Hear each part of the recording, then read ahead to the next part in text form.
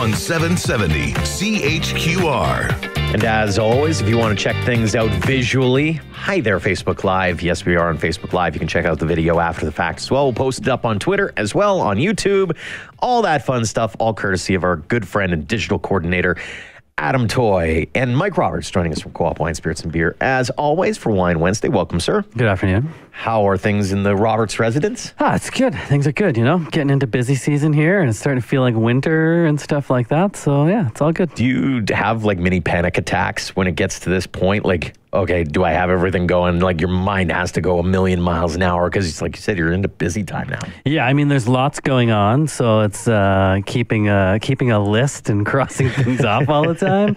But uh, it's the fun time of year for sure. Like, like I love Thanksgiving and Easter and Christmas and all that for you know all of the reasons you think of. But you know, in store, it's you know people are coming in and they want your advice and that's what we're here for. And so it's fun. So it's good that way. You getting everything all set up Christmas wise as well, getting all the displays up proper and putting some mistletoe on things. I was and all that stuff? harassing the store manager at Shaughnessy today about uh, how come we don't have holiday music on yet because I started singing it randomly. So That started back in August, I'm, I'm assuming. no, you have to always have to wait till Remembrance Day, don't you? Isn't that All the rule? You have to wait. I think that there's there's some differing opinions on it Yeah, for I sure. so. Uh, let's talk about Grape Escape. It is coming up. You guys are, are just about down to the nitty gritty here, and Saturday's sold out already. Yeah, Saturday always sells out uh, before the Friday does. I think it's, uh, you know, you have time in the day to relax and slowly get ready, and people get pretty dolled up for Grape Escape, which is pretty awesome. And uh, Fridays, usually the ticket sales are a little bit slower, but I mean, we're getting close. We're three quarters of the way there for Friday as well. But Saturday is sold out, and there will not be tickets at the door. So What are you looking forward to most with it? it's fun. It's uh, I love people watching, so it's always a good time in that sense. Like there's two and a half thousand people there, right? So uh, it's lots of fun, and it continues to grow, and we see more and more really cool, unique products. And then now it's even more exciting because there's so much local stuff happening with breweries and distilleries. And the mm-hmm. distilleries are making what we call RTDs, like ready to drink. So that's like mixed drinks, mixed cocktails in, in a can and stuff mm-hmm. like that. So that's always fun. And then we're doing the Sommelier team always hosts little sort of mini events at Grape Escape, and we're doing guess the expensive wine. Oh, so our participants can sit in, and we'll be tasting you know five or six wines, and one of them is going to be you know a fifty or hundred dollar bottle of wine, and they have to kind of figure out which one is the expensive one. So. Anything trends wise that you're already starting to notice as we get closer and closer to Christmas? Oh, Christmas. It's kind of the, you know, things get a little crazy. People want more and more like accessories and stuff like that. In our stores in the past, we haven't done too much with that, but you're seeing more and more people interested in like glassware and decanters and mm. Kind of the, the tricks of the trade, if you will, or the tools, I should say. Uh, and then getting into like bitters and stuff like that. And then people are always looking for the advent calendars and stuff, which is always, always lots of fun. So. Absolutely. Uh, let's get into the wine that you've brought in today and give us a little bit of the details here. Yeah, this is from Pirramimma, so it's uh, can only be from Australia with a name like that, right?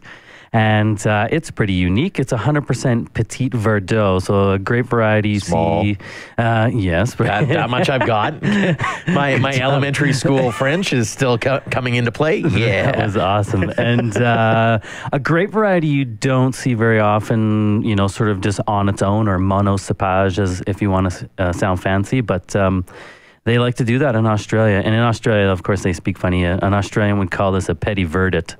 So, um, but that's okay. But uh, really neat, a rustic and rugged kind of grape variety. Like if you like Cabernet Sauvignon, you would probably like this wine style. It is pretty grippy and pretty tannic. It's definitely super dark and dense in your glass. And then it's Australia, so it's you know hot climate, so the grapes get really ripe and really rich and really flavorful, and yeah, it's fun.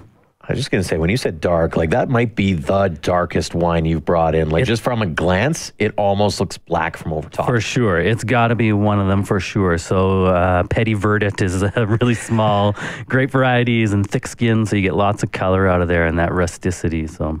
Tell us a little bit about the Australian wine scene because it Mm-hmm. doesn't happen very often where you bring in something from from that neck of the woods. It's funny because Australia grapevines are native to there, so they brought them from France and all these places and you know sort of in the in the 80s there the Australian government was like we want to be like the number 1 wine exporting country in the world. So the wine industry and the government sort of combined forces and came up with this giant plan to become like a, a global wine force.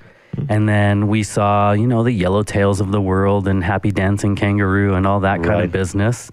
And they were. They were one of the largest producers and exporters of wine in the world. And then that sort of wine style and wine type and branding and stuff has sort of gone by the wayside, right? Consumers more and more becoming savvy and, you know, want high quality products and want to know where they come from.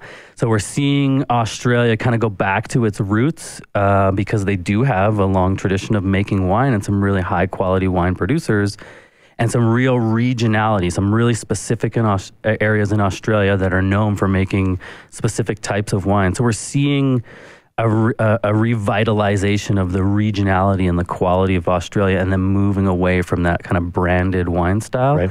And Pirramimma is one of the first families of Australia. So these guys have been around, I think it's 1862, 1892, it says on the label, and still family owned and operated and, and have always focused on sort of handmade wines. What would you say is there? Do they? Does Australia have a trademark right now? Like, is there something that really sticks out to you in terms of whether it be taste or? Yeah, it has to be Shiraz or Syrah. I mean, they're a hot climate, and, and they've sort of owned Syrah grape and even changed the name and called it Shiraz, and Right.